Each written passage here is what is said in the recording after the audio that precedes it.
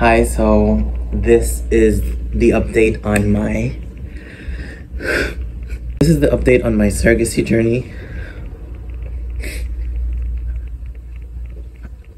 I mean, it's done, you know? So remember, I made that video yesterday about, you know, feeling scammed and um, uh, the things don't add up. Well, today they got their anatomy scan, which is like their second ultrasound.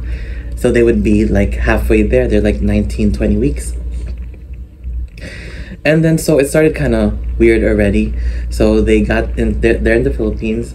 So they they went to um, they signed up at the at the ultrasound clinic around 10 11 and then they sent me pictures of them they're eating right here whatever i'll post a picture they were in jollibee and then they didn't get back to me until like 3 p.m and i thought that was already kind of weird because the last time they did that there was something up so lo and behold of course um, something was off. The first picture they sent me was this, okay? So this picture, it was a picture of a TVS ultrasound, and they said there's a baby there, and then there's the heartbeat whatsoever. And then um, they sent me another one of another ultrasound, and then with some something, whatever. And I'll put that here also. And then the weird part was, or what already made me very doubtful was the fact that when I asked for a closer picture, a closer shot of any of these, they had a hard time giving it to me.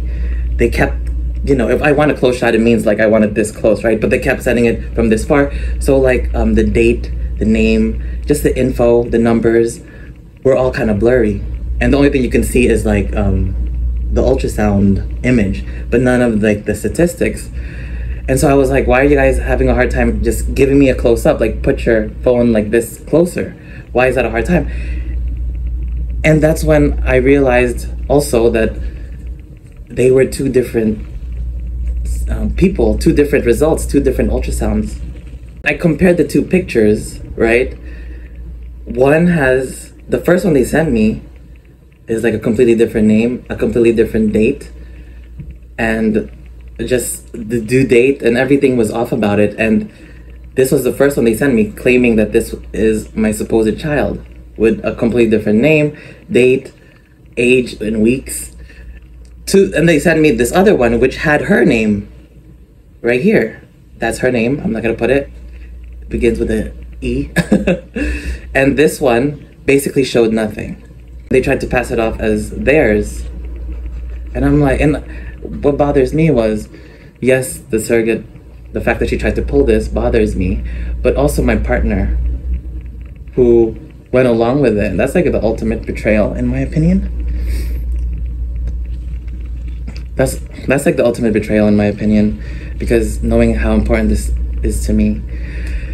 But um, so yeah, I had a, a talk with them, and now they're saying that they're gonna go and do it again. But at this point, is there's no point because it's clear over here.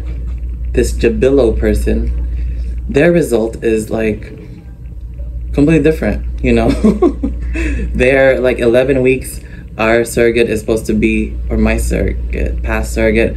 This one was supposed to be 19 to 20 weeks. You know, just everything off was a everything was a off. You know and then apparently, the one who took their ultrasound said she wasn't pregnant, which is weird. Like, she's not pregnant at all, but she keeps getting positive pregnancy tests. I don't know if that's a thing. But um, she, they showed another positive pregnancy test, and I'll put that over here. So it's really quite strange, in my opinion, and so sad because, you know, we're we're supposed to be half. I was supposed to be halfway through having a kid, you know, like soon. There's not gonna happen. Which, you know, I'm like, should I really film myself in this state? But, you know, I, I mean, it's real. And maybe it's good for content and for views, because that's all I'll get out of this, you know? I sold my stuff. I lost my job just so I can have a shot at this. And um, it's fine. I don't, I don't like working there anymore. Like, I mean, it, it was alright, but I'm ready to move on anyway to like a different part of life, obviously. But um, yeah. So I guess be wary when you believe in people.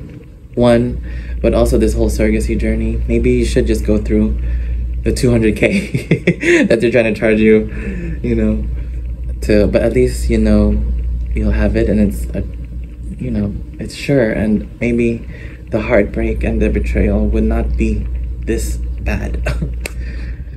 but what am I doing after this? Um, I think I'm gonna focus on school. I'm going back to school, and then um, work. You know, pay off whatever I need to pay off with this whole thing, um, and then try again maybe in a year. Um, you know, those two people that scammed me. I'm gonna call it scammed. they'll get what's coming to them, you know? Karma. Or I don't even know about karma anymore because look how far they got, you know? They got. They were supported by me this whole time. And. You know, and they're still sitting pretty, so I don't know. I don't care. What I'm glad is I didn't sell my jewelry, you know, my minimal jewelry. Can't wait to add a ring. And then, um, yeah, I'm healthy, so I can have a baby. I mean, I didn't risk that. And I'm not gonna stop until I have until I have a child, right? So for now. For now, thank you guys for watching. My sir Thank you guys for following my surrogacy journey, even though it was short-lived. It was only like what, a few months, a couple months, well, whatever, several months. And um you know it's just part of it right? But the important thing is don't give up. And um i'll see you guys later